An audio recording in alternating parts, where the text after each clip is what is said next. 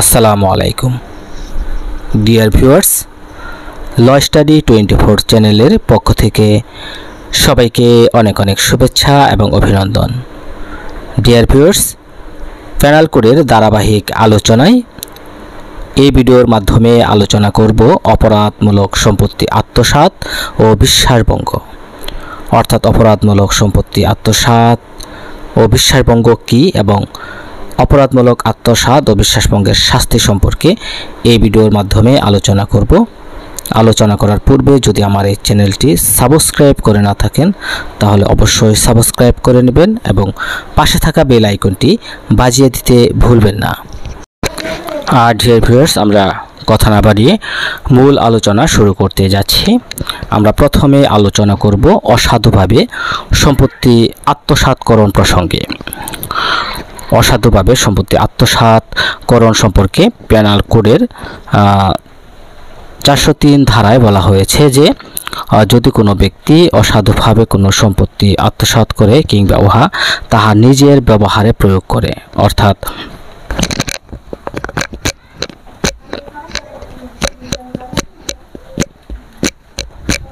অর্থাৎ অসাধুভাবে সম্পত্তি আত্মসাৎকরণ প্রসঙ্গে যে চারশো তিন ধারায় বলা হয়েছে যদি কোনো ব্যক্তি অসাধুভাবে অস্থাবর সম্পত্তি, আত্মসাৎ করে বা উক্ত সম্পত্তি তার নিজের ব্যবহারে প্রয়োগ করে।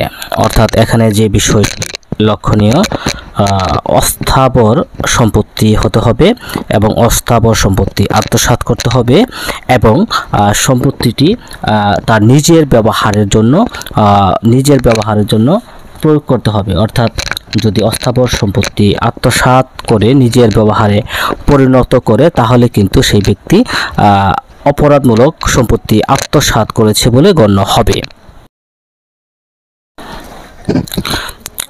ডিয়ার ভিউয়ার্স অসাধুভাবে সম্পত্তি আত্মসাৎ খুবই গুরুত্বপূর্ণ একটি অধ্যায়। এই অধ্যায় বা এই বিষয় থেকে কিন্তু বিগত ভার কাউন্সিল পরীক্ষায় প্রশ্ন এসেছিল। তো আমরা একটি উদাহরণের মাধ্যমে চারশো তিন ধারার অসাধুভাবে সম্পত্তি আত্মসাৎ প্রসঙ্গে এখন আপনাদেরকে বোঝানোর চেষ্টা করব। যদি আমরা ধরি, ক, ক্ষয়ের সম্পত্তি সরল মনে ক্ষয়ের দখল হইতে লইয়া যায়। এই বিশ্বাসে যে উহা তাহারই সম্পত্তি। ক, চুরির জন্য দোষী সাব্যস্ত হবে না, কিন্তু যদি ক, নিজের ভুল বুঝিবার পর উহা অসাধুভাবে সম্পত্তি তাহা নিজে ব্যবহারের জন্য আত্মসাৎ করে তাহা হইলে সে এই ধারা মোতাবেক অপরাধের দায়ে দোষী সাব্যস্ত হইবে, যা তার জন্য দু বছর পর্যন্ত কারাদণ্ড, অর্থদণ্ড বা উভয়দণ্ড হতে পারে। অর্থাৎ অসাধুভাবে সম্পত্তি, আত্মসাৎকরণ, চারশো তিন ধারা মতে দুবছর পর্যন্ত কারাদণ্ড, অর্থদণ্ড বা উভয়দ্বন্দ্ব এ পর্যায়ে আলোচনা করব প্যানাল করে চারশো চার ধারা সম্পর্কে। অত্র ধারায় বলা হয়েছে, কোনো মৃত ব্যক্তির মৃত্যুকালে তার সম্পত্তি অসাধুভাবে আত্মসাৎকরণ প্রসঙ্গে। অর্থাৎ অত্র ধারা মতে, যদি কোনো ব্যক্তি এমন কোনো সম্পত্তি অসাধুভাবে আত্মসাৎ করে বা নিজের ব্যবহারে প্রয়োগ করে, যে সম্পত্তি কোনো মৃত ব্যক্তির মৃত্যুকালে সেই মৃত ব্যক্তির দখলে ছিল, তাহলে তার শাস্তি তিন বছর পর্যন্ত কারাদণ্ড বা অর্থদণ্ড হতে পারে। অর্থাৎ চারশো চারের দুই উপধারায় যে বিষয়টি বলা হয়েছে, যদি অপরাধটি অনুরূপ ব্যক্তির মৃত্যুকালে কেরানি বা মৃত্যু কর্তৃক হয়, অর্থাৎ কেরানি চাকর বা বৃত্ত কর্তৃক এরূপ অপরাধ সংঘটিত হলে শাস্তি বেড়ে দাঁড়ায় সাত বছর পর্যন্ত কারাদণ্ড, অর্থদণ্ড। অর্থাৎ কেরানি বা বৃত্ত কর্তৃক অপরাধ সংঘটিত হলে তার শাস্তি সাত বছর পর্যন্ত কারাদণ্ড অর্থদণ্ড হতে পারে। আর ডিয়ার ভিউয়ার্স এখন আমরা আলোচনা করব চারশো ছয় ধারা। চারশো ছয় ধারায় বলা হয়েছে অপরাধমূলক বিশ্বাসভঙ্গের শাস্তি। তার পূর্বে আমরা অপরাধমূলক বিশ্বাসভঙ্গে কি সে সম্পর্কে আলোচনা করব, যা প্যানাল কোডের চারশো পাঁচ ধারায় বলা হয়েছে অপরাধমূলক বিশ্বাসভঙ্গের সংজ্ঞা, অর্থাৎ অপরাধমূলক বিশ্বাসভঙ্গ কি?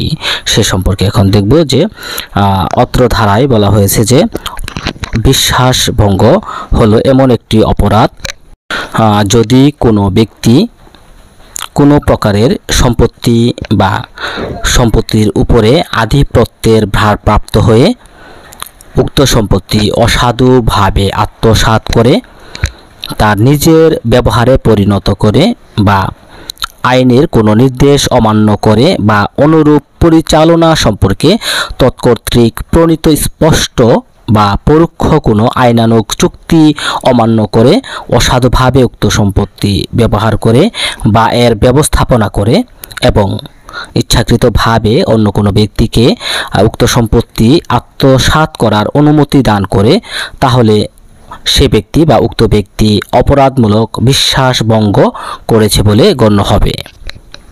আর সম্পত্তি আত্মসাত বা অপরাধমূলক বিশ্বাসভঙ্গের ক্ষেত্রে চারশো চার ধারার যে উপাদানগুলো রয়েছে তা হলো সম্পত্তি বা সম্পত্তির উপরে আধিপত্যের ভারপ্রাপ্ত হয়ে উক্ত সম্পত্তি অসাধুভাবে ব্যবহার করলে বা তার নিজের ব্যবহারে পরিণত করলে এবং ইচ্ছাকৃতভাবে অন্যকে উক্ত সম্পত্তি আত্মসাৎ করার অনুমতি প্রদান করলে সে কিন্তু অপরাধমূলক বিশ্বাসভঙ্গ করেছে বলে গণ্য হবে।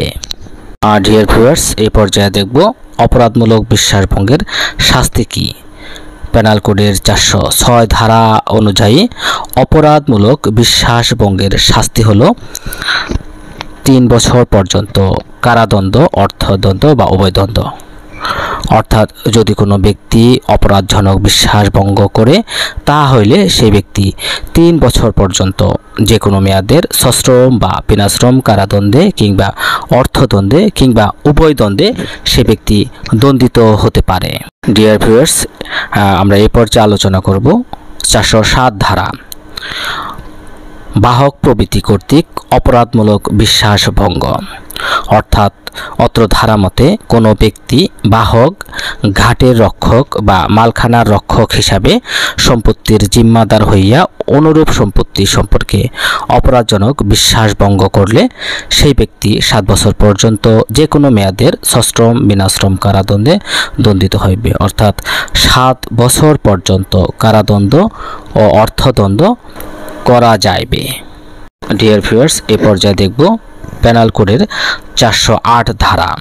অত্র ধারায় বলা হয়েছে কর্মচারী চাকর কর্তৃক অপরাধমূলক বিশ্বাসভঙ্গ। অর্থাৎ কর্মচারী বা বৃত্ত কর্তৃক অপরাধজনক বিশ্বাসভঙ্গ সম্পর্কে যদি কোনো কর্মচারী বা বৃত্ত নিয়োজিত হইয়া অনুরূপ পদে কোনো সম্পত্তির জিম্মাদার বা উহা পরিচালনার দায়িত্ব বা ক্ষমতাপ্রাপ্ত ব্যক্তি উহা অপরাধজনক বিশ্বাসভঙ্গ করে উক্ত সম্পত্তি আত্মসাৎ করে, তাহলে তার শাস্তি কি সে সম্পর্কে প্যানাল কোডের চারশো আট ধারায় বলা হয়েছে। সেই ব্যক্তি সাত বছর পর্যন্ত কারাদণ্ড ও অর্থদণ্ড দণ্ডিত হবে। সাত বছর পর্যন্ত কারাদণ্ড ও অর্থদণ্ডে দণ্ডিত হবে। এ পর্যায়ে দেখব চারশো নয় ধারা। সরকারি কর্মচারী কর্তৃক কিংবা ব্যাংকার, ব্যবসায়ী বা এজেন্ট কর্তৃক অপরাধজনক বিশ্বাসভঙ্গ। চারশো নয় ধারায় বলা হয়েছে, যদি কোনো ব্যক্তি সরকারি কর্মচারী হিসাবে তাহার পদমর্যাদা বলে কিংবা ব্যাংকার, ব্যবসায়, ফ্যাক্টর, দালাল, অ্যাটর্নি বা এজেন্ট হিসাবে ব্যবসার সূত্রে কোনোভাবে কোনো সম্পত্তির জিম্মাদার হইয়া বিশ্বাসভঙ্গ করে, তা হইলে সেই ব্যক্তি যাবজ্জীবন কারাদণ্ড, দশ বছর পর্যন্ত যে কোনো মেয়াদের সশ্রম বা বিনাশ্রম কারাদণ্ডে দণ্ডিত হইবে এবং তাহাকে অর্থদণ্ডে দণ্ডিত করা যাইবে। অর্থাৎ যাবজ্জীবন কারাদণ্ড এবং দশ বছর পর্যন্ত সশ্রম বা বিনাশ্রম কারাদণ্ডে দণ্ডিত করা যাইবে এবং সেই ব্যক্তিকে অর্থদণ্ডেও কিন্তু দণ্ডিত করা যাইবে, যা পেনাল কোডের চারশো নয় ধারায় বর্ণনা করা হয়েছে। চারশো নয় ধারার যে বিষয়, সরকারি কর্মচারী কর্তৃক কিংবা ব্যাংকার, ব্যবসায়ী বা এজেন্ট কর্তৃক অপরাধজনক বিশ্বাসভঙ্গের শাস্তি সম্পর্কে। ডিয়ার ভিউয়ার্স আমরা প্যানাল কোডের তেইশতম লেকচারে আজ আলোচনা করলাম অপরাধজনক সম্পত্তি আত্মসাৎ ও বিশ্বাসভঙ্গ সম্পর্কে। ইতিপূর্বে আমরা পেনাল কোডের বাইশটি ভিডিও আমাদের এই চ্যানেলে আপলোড করেছি। ডিয়ার ভিউয়ার্স আপনি যদি বার কাউন্সিল, পরীক্ষা দেওয়ার জন্য প্রস্তুতি গ্রহণ করে থাকেন বা প্রস্তুতি নিচ্ছেন, তাহলে আমাদের এই চ্যানেলটি সাবস্ক্রাইব করে পাশে থাকা বেল আইকনটি বাজিয়ে দিতে ভুলবেন না। ডিয়ার ভিউয়ার্স আমরা মূল আইনের উপর প্রাধান্য দিয়ে ভিডিও নির্মাণ করে থাকি। আমাদের এই ভিডিও সম্পর্কে যদি কোনো মতামত, প্রশ্ন বা পরামর্শ থাকে, তাহলে অবশ্যই আমাদেরকে জানাবেন। এই করোনাকালীন সময়ে সবাই সামাজিক দূরত্ব এবং স্বাস্থ্যবিধি মেনে চলবেন। সবার সুস্বাস্থ্য কামনা করে আজকের মতো বিদায় নিচ্ছি। আল্লাহ হাফেজ।